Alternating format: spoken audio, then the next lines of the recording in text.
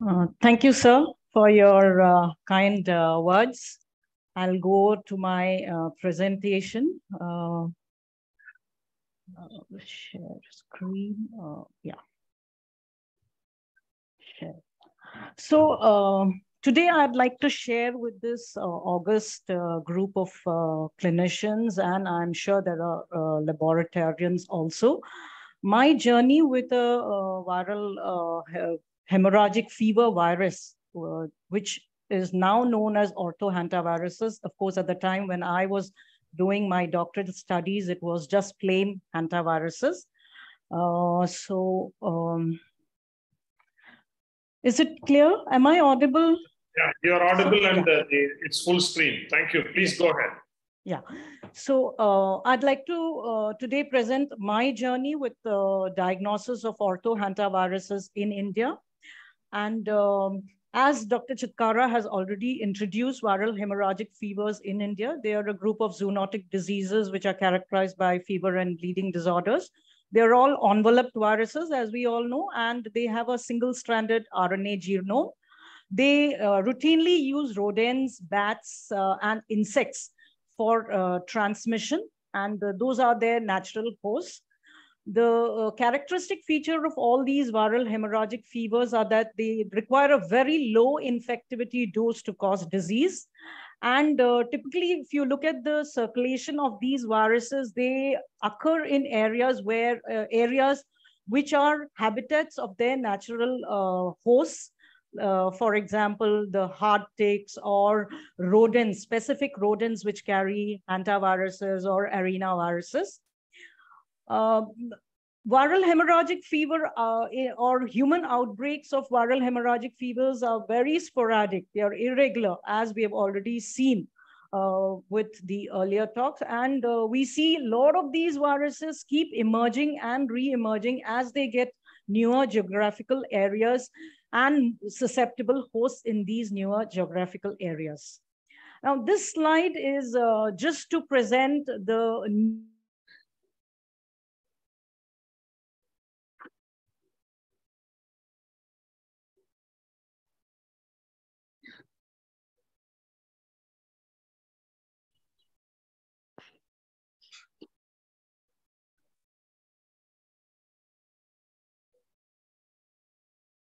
more than one RNA segment. So this is the classification that we use uh, typically. And orthohantaviruses earlier belonged to uh, family Bunyaviridae. Now it is has its own family of Hantaviridae.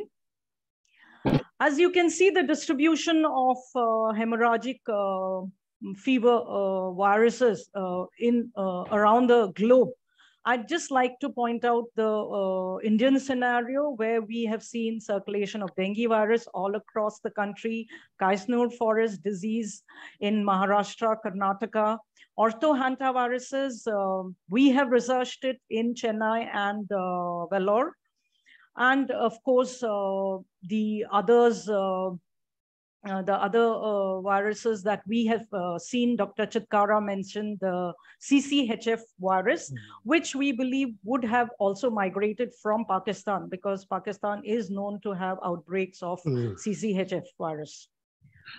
Now, before I go further into uh, the testing systems that we generally use, uh, there have been many questions which were, uh, which, uh, or many people who have asked me uh, whether we could use, uh, what kind of testing can be used for VHFVs. Now, I would just like to put this slide because some of these viruses, which can be transmitted from person to person, they belong to different risk groups.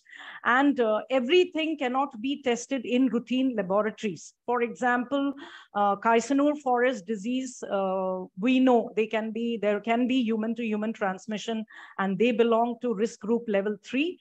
Uh, and uh, WHO recommends that for Kaisnur forest disease, BSL level two uh, should be used, but uh, we have a beautiful paper from uh, uh from NIV, which uh, recommends using even BSL level two, which is the level which is in commonly seen in different laboratories.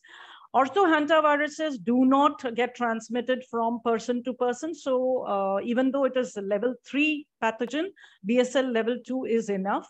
Uh, dengue, as we all know, uh, BSL level two is enough. But of course, if you're propagating the virus, you need to use level three laboratory.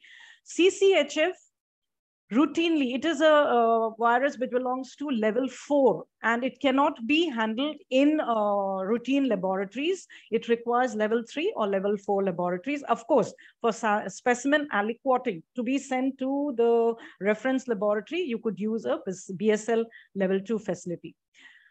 Uh, this is uh, this slide is presented just to uh, inform uh, others that many viruses cannot be handled in routine uh, laboratories.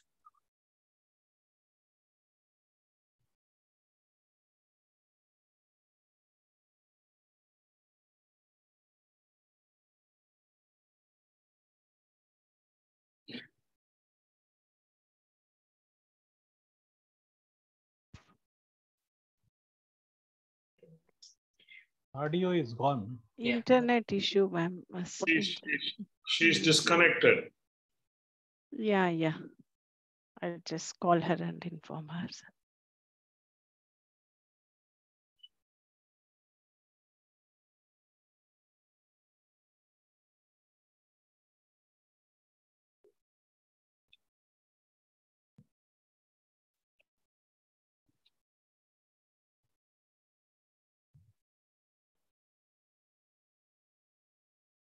If it is taking time, we can we can take up some questions from the audience. Is she able to join? If it is taking time, we can take yeah. up some questions. Yes, sir. She's reconnecting. Uh, meanwhile, uh, if there are any question, I request uh, our audience to post it on the chat box and I request the RX event to kindly share it with us. Are there yeah. any questions in the chat box, please? Dr. Chitkara, I would like to ask you, uh, is it possible to distinguish uh, vasculitis from viral hemorrhagic fever clinically? In fact, uh, the basic teaching in pediatrics is that if you have a palpable purpura, it's likely to be vasculitis. If you have a non-palpable purpura, it is likely to be thrombocytopenic. And if you have a non-blanching purpura, it's always dangerous. In fact, if you look at the NHS guidelines, you will find uh, uh, the non-blanching purpura as a red flag sign for fever. Your comments, please. Okay. Uh, good question, Bala. Uh, so first of all, what is vasculitis? Like you described, it is a palpable uh, lesion because ultimately it is inflammation of various blood vessels, small to medium or others. Now to differentiate between a viral vasculitis, because most of the hemorrhagic viral fevers would in fact cause all these hemorrhagic rashes because of a vasculitis phenomenon.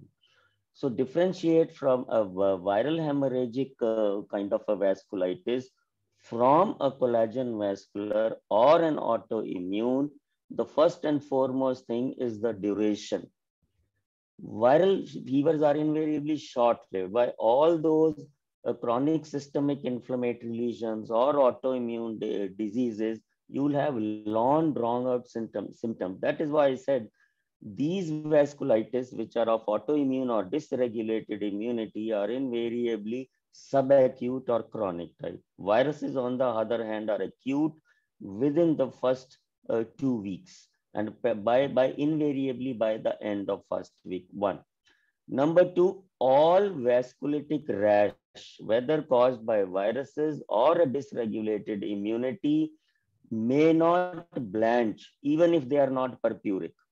Yes, they are palpable because it is a local inflammatory reaction which occurs in the entire blood vessel. So one, vasculitis palpable, only the duration differs plus the underlying spectrum of a chronic inflammatory disease or an autoimmune disease. You'll have arthritis, skin rashes of different types, prolonged uh, kind of an indolent course, while viruses strike very fast, three, four days high fever, and you go into all these symptoms. You'll have multi-organ failure, but invariably arthritis, eye involvement doesn't occur in most of these viral except uh, uh, these exanthems, except you may have sometimes a conjunctival congestion.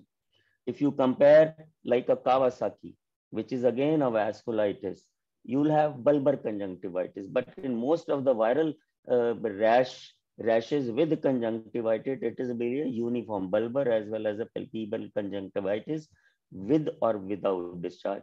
So these are subtle differences of duration, the, the kind of lesions, the pleomorphic evolving, invariably joints are not involved, which is more common in the autoimmune or a dysregulated immunity. So these are subtle points which can differentiate between uh, acute viral and the uh, other prolonged disorders. Thank you, Dr. Skara, for those very uh, lucid answers. I think Dr. Sara has joined back. Can you restart, Dr. Sara? Yes. Sorry, sorry for it's the okay, loss okay. in connection. Please, yeah. please go ahead. Yeah, so I just wanted to uh, go through uh, some points of uh, introducing orthohantaviruses. These are rodent borne, as you know, and uh, each different serotype is hosted by. Make it full screen, Sarah. Each uh, serotype is hosted by a specific rodent species. And of course, there are other uh, orthohantaviruses which are uh, hosted by other small mammals like shrews, moles, and even bats. So basically, there are two different kinds of uh, orthohantaviruses. You have the old world uh, orthohantaviruses, which were earlier discovered uh, like in the uh, during the Korean War in 1950. And you have the New World orthohantaviruses, uh, which were discovered as the, you know, uh, as the in 1993. And these two different kinds of hantaviruses, or the old world orthohantaviruses, they cause what is called hemorrhagic fever with renal syndrome. And there are four or five very important viruses which come under the group of uh, HFRS viruses. New world uh, hantaviruses, they uh, generally cause cardiopulmonary syndrome, which is called HCPS. And there are two very uh, important viruses, Syn-Nombre and Andes virus, which cause very severe disease. Now, um, the most important thing to consider here is since they are transmitted by rodents, you could have domestic uh, exposure. Uh, uh, sorry, sir. So uh, uh, what we need to consider is uh, transmission of infection occurs from rodents to humans either in the domestic settings or it could be in the recreational settings. For example, when there are campers who go out and they get exposed to rodent excreta, please remember aerosols which are generated from uh, contaminated droppings, urine or saliva of rodents can infect humans.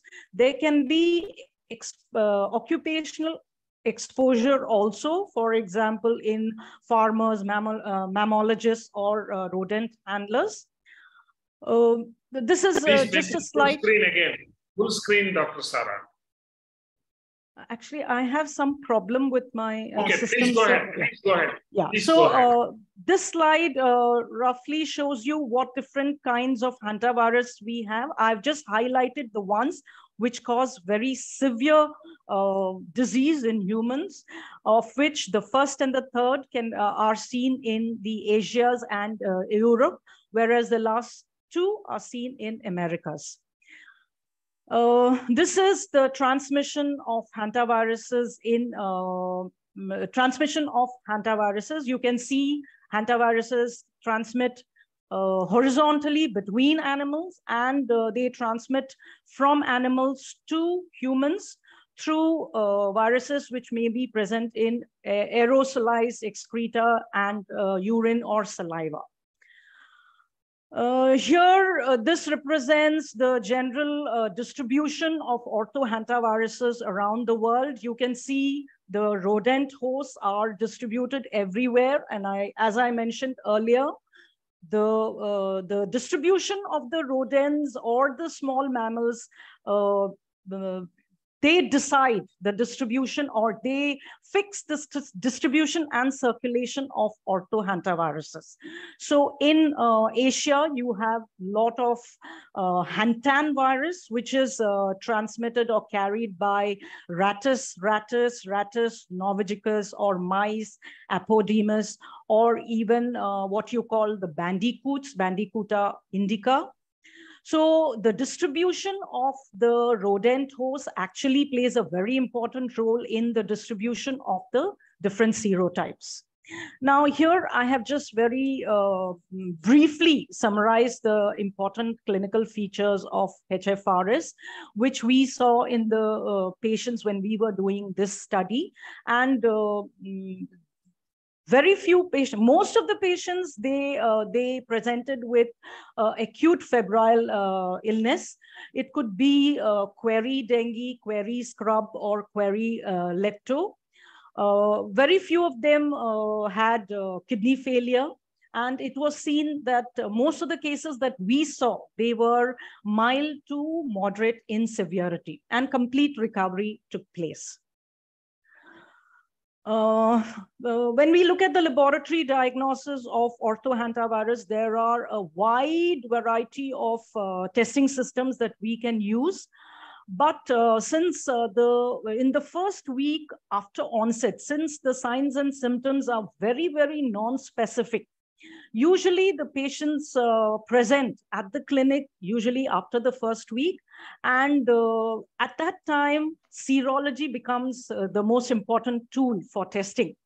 Uh, PCR is very useful if you are able to, uh, the patient appears before the first seven days after onset. There are other tools which we have used in our study, ELISA, we have used uh, conventional PCR, real-time PCR. Of course, there are a lot of investigators who are using multiplexed uh, real-time system where you can try to multiplex the different uh, serotypes which may circulate in a particular area. We used Western blot because that was the first time we were the, doing the study on orthohantaviruses and we really need to we needed to confirm that our findings were uh, truly uh, correct. We also used uh, serotyping ELISAs and uh, of course, now microarrays are available where uh, small oligonucleotides are used as fishing nets to look for different pathogens. Uh, NGS can be used for uh, zero, uh, for genotyping, and we have been using NGS extensively during the COVID outbreak. Virus culture can be used for orthohantaviruses, but again, it requires level three facility. And very few uh, cell lines can be used, for example, Vero E6 cell line, which is uh, not very uh, frequently used in cell culture laboratories. So now I will just go through quickly through uh, my journey and the, uh, what were our findings. So before I started my study in 1968, already there was a hantavirus isolate which was uh, reported. It was uh, from an insectivore, a Suncus murinus, which was captured in Vellore. It got its name from the place where the insectivore was captured. And there is a very beautiful publication by uh, uh Carey, uh, Dr. Carey, and uh, this was uh, supposedly the first hantavirus to be ever cultivated. Uh, so when we started our study, we really didn't know what kind of serotype we were looking for, what kind of tools we should use. So since we already had literature that uh, orthohantaviruses could cause even mild acute febrile illness, the first pilot study we did was on patients, uh, patients with query dengue, query lepto, and query scrub, but neg negative for the respective uh, etiologies. And we found in the pilot study, 12% of our patients were seropositive. We did not restrict ourselves to a single ELISA. It was, uh, we used a heterologous ELISA system a heterologous system which uh, pooled all the different serotypes that could be present because we did not really did not know what serotype we were looking for. And uh, the pilot study gave us very good results. And we moved on to another larger study where we started looking at patients with acute undifferentiated febrile illness. So we didn't restrict ourselves to dengue-like or lepto-like or scrub-like. We started moving towards patients with acute febrile illness, acute undifferentiated fevers ranging from two days to 14 days. And we got very good results. I was able to do a, a, a PCR. This was those days of conventional PCR, 2004, 2005. The target was very small. It was only uh, 150 base pairs. Uh, and uh, we found that uh, the, uh, the uh, what we got positives by with molecular testing, they showed great homology with Hantan virus. Now, Hantan virus is the one which is commonly seen in Russia, Korea, Thailand, etc. So these were studies on patients with acute undifferentiated febrile illness Next, we wanted to look at seroepidemiological studies. So we had to, uh, um, okay, before I go to that, this is a slide which just gives you a rough uh, idea of what could be the clinical and laboratory findings in patients who were seropositive. What was significant is 75% uh, of those who were seropositive or laboratory confirmed orthohantaviruses, they had thrombocytopenia which you would uh, see in most cases in uh, other parts of the world also. This is a slide which just shows uh, uh, immunofluorescent assay, which we used and uh, Western blot techniques, which we used for confirming our results with ELISA, since this was the first time we were doing uh, hantavirus research in India. So uh, in seroepidemiological uh, study, we tried looking at uh, healthy blood donors. We looked at go down workers. We looked at irulas because we know irulas, they catch rats, they consume rats. We looked at patients with uh, chronic renal disease because it is believed that patients who have had hantavirus infections, they go on to developing chronic renal disease. So we found that uh, there was a high degree of seropositivity in Irulas, which was very significant from the seropositivity, which was uh, significantly associated with Irulas when compared to the seropositivity we saw in healthy blood donors. So then once we got seropositivity and we could study seroprevalence of orthohantavirus, we tried to serotype the virus. We wanted to know which virus is circulating in India. And these samples were uh, actually serotyped with the help of uh, our overseas collaborators. In fact, most of the studies we did uh, with material which was uh, generously donated by collaborators from uh, Germany, uh, from Japan, even from the U.S. Army, uh, you know, uh, U.S. Army uh, we got uh, control uh, slides. Uh, Sarah, you have only two more minutes. Uh, thank you. Kindly finish it. Thank you. Okay. Uh, and uh, the last, nothing would be complete in a zoonotic disease without looking at animals. So we did testing on 84 animals, which included rats and bandicoots. And we got similar kinds of results, which we got in human testing. here too, we used ELISA, uh, Western blot, immunofluorescent assay, RT-PCR, conventional and uh, real time. And we found that 19% of the rodents were uh, positive, seropositive. We were able to detect uh, by molecular diagnosis, we were able to detect uh, orthohantavirus uh, from the lung and kidney tissue of one uh, bandicoot rat. Dr. Sarah, you can wind up. I'm getting messages from the organizers. Time is yeah, over. sure. So uh, this is my last slide, and uh, this is just to uh, uh just to convey the message that there are ortho, ortho which circulate in India, and uh, it is necessary that we consider hantavirus infections in the differential diagnosis of scrub, uh, lepto, malaria, dengue, and other causes of AUFs.